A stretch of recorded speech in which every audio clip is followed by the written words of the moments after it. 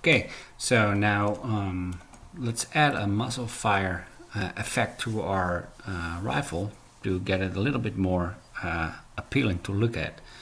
Because right now when we shoot we don't see anything. And what we're gonna do, we're gonna add the uh, uh, let me see. When we are um, we're gonna add a fire uh, effect right here around the muzzle um, and we're going to just use a particle system for it. Um, and it's actually quite um, good looking. Uh, you don't need any textures for it. So it's uh, very easy to use. It's a it's a very easy uh, technique. Okay so let's go to your assault rifle to your muzzle and uh, let's add a new uh, particle system. Uh, if I type it right particle system. Okay, now you get a preview here um, showing you uh, the effect of the particle when it's run. Um, okay, let's change a few settings here. First we need to uh, reduce this to the lowest amount. It's like a 0.10. And let's uh, decrease the lifetime so that's basically the, the time the, the particles will live. So also reduce it to the shortest amount. And uh, let's we have to um, you have to fiddle around with the with the size a little bit, but I'm for now I'm gonna say something like point uh, two or something. Okay. Um,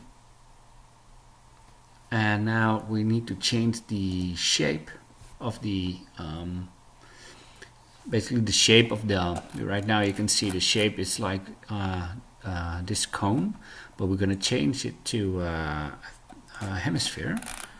Now you can see uh, the way it looks if you look correctly. And now just reduce the radius to make it pretty pretty small something like this. So basically this is the the fire uh, maybe like 0.45 something like that. Some looks uh, looks okay yeah. And the emission uh, we're not gonna uh, burst out I mean we're gonna burst uh, it out instead instead of using the default rate. So just uh, put this one on zero and add a new burst and change this to like a minimum of like uh, well not entirely sure but maybe uh, maybe 20 to 30 or maybe 10 to 20 10 to 20 I think 10 we can change that later on. And now you can see it's going crazy but that doesn't uh, matter because we will fix that later on. Uh, let's go down to the renderer and now this is where it actually changes the way it looks so let's change the render mode to a stretched billboard. Now you can see already what it does. It stretch, stretches out the, the those circles you see right here. But now it stretches them. And uh, let's change the length scale. So that's basically the length of it. Maybe uh, something like this. Uh, again, change it to the way you uh, we actually prefer it to have. Now, to for for the coloring, uh, let's change it over. Uh, let's see, let's over lifetime. So if you check it, and then we're gonna click it, and it opens up the gradient editor. And basically, this is will um, it will change the color over life. So it will start white and then it will go to white. So it stays white right here. But we, what we're gonna do we're gonna change it to like a, like a more uh, yellowish color and maybe to white in the end. Uh, let's by if you click below here you can add in a new a new gradient. Let's put it around the center and make this color uh, like a little bit yellow. Something like this and the first color let's change it to like a brighter. Orange orangey. Oops. Now you can see already what it what the change does here. Um, something like this. And let's reduce the alpha of the white right here uh, by clicking the top one. And then you can like make it a little bit lower so it so it blends fade out in the in the uh, in the end. Maybe this should be a little bit more but well do it do it the way you want uh, want it to be. Maybe something like uh, like this. You get a pretty pretty good uh, effect here already but we're uh, we will change it more. Maybe we need to reduce the uh, let me see. Maybe we could change the start size pretty low. This is hmm. Uh, first we're gonna uh, check out play on awake as well because we're gonna play it uh, from from our script when we are uh, when we are when we are ready for it. Uh, maybe make it a little bit smaller or oops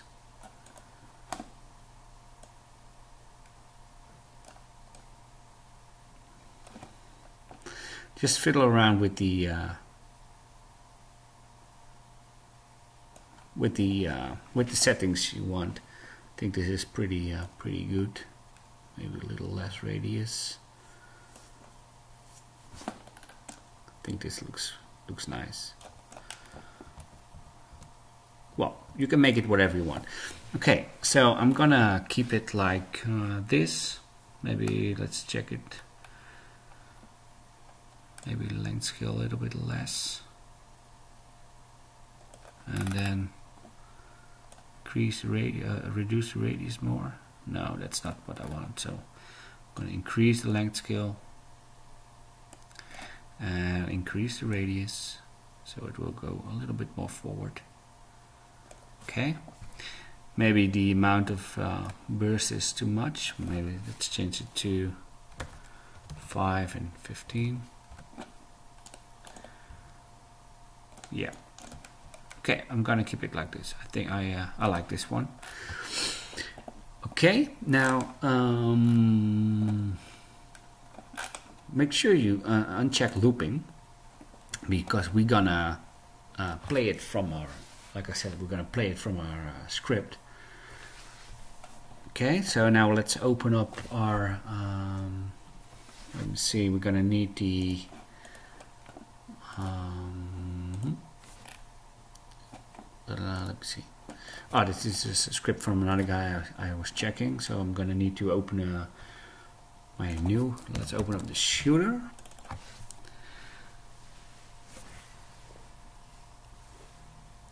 And what we're gonna do, we're gonna check if the muzzle has the component for the particle system. Uh, if it has it, it will uh, play the effect when we are when we are firing. So let's make a private variable for our particle system. Let's call this muzzle fire particle system. And when we awake, we're gonna check for it. Let's say muzzle particle equals to um, muzzle get component and we get the particle system from it. Now let's make a new method in our uh, in our script for uh, playing the uh, it's going to be private so make a void um, let's call it fire effect or something. And basically we're going to check if the muzzle particle system equals null skip it out otherwise we say play. And it will play only uh, once because we disabled looping.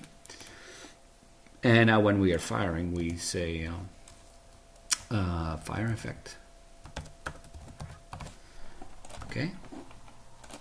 Let's see what happens when we uh, run this. There we go. Looks yeah I think this looks pretty well now um, I still have the uh, renderer enabled so I'm going to disable the renderer for our uh, bullet uh, yeah, our mesh of course in the bullet. Let's disable the renderer. And now it would be nice to have some sort of uh, tracer as well. So to do that, let's um, stop the game, drag in the assault rifle bullet,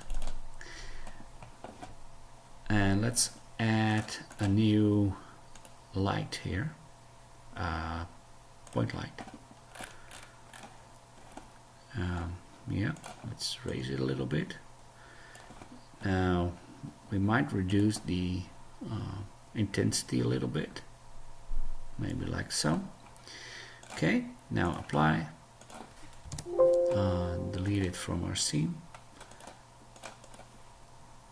Uh, there we go.